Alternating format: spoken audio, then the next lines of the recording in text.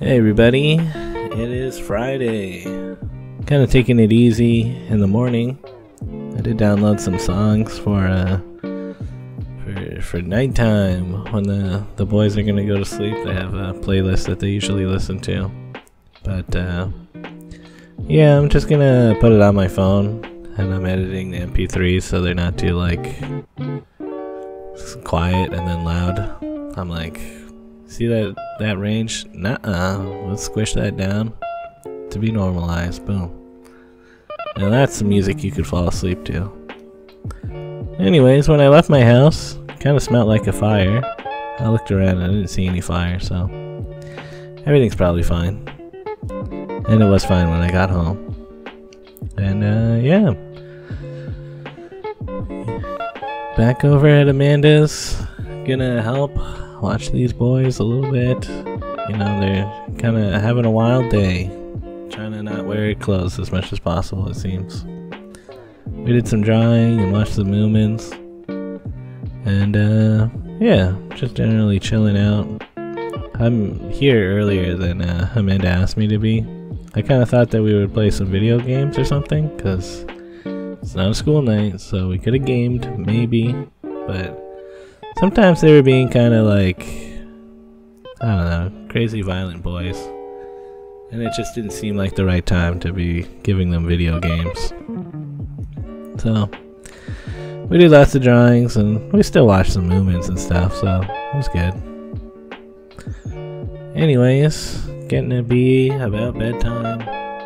I uh, brushed their teeth. It was uh, some good behavior modeling. This River brushed his teeth. Now Hero, he's into brushing his teeth. I'm like, yes, dude. That's what we gotta do. And uh, yeah, read some Captain Underpants and decent amount of my ta- my neighbor Totoro book. This is a good book. It's basically just a movie, which is what I wanted. Once they were asleep, after a while, I tried to get up and get some water, and I, like, I don't know. I feel like I kind of woke up River. He was like half asleep. He said some gibberish, and then he went onto the couch and it fell asleep again immediately. Which is kind of neat. I was like, huh, you doing like a sleepwalking thing? Maybe. So yeah, turned off most of the lights, looked at Amanda's things. Mean, eventually Amanda came back from her uh, stuff, made some uh, chicken nugget wrap. Holden also came home. That's good. Apparently, old digital cameras are in right now. That's like the retro, cool way to take pictures instead of using your phone like everybody else. That's for suckers. But uh, yeah. Anyways, I'm heading home now. Decided to go by the Sky Dome. Wondering if I was to see any craziness, but guess it's pretty late. There wasn't really anything going on. And they must clean up after the concerts and stuff.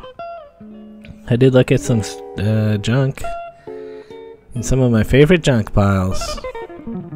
Decent set of chairs here. I was curious about this one. It looks a lot like the kind that Amanda has, but it is broken.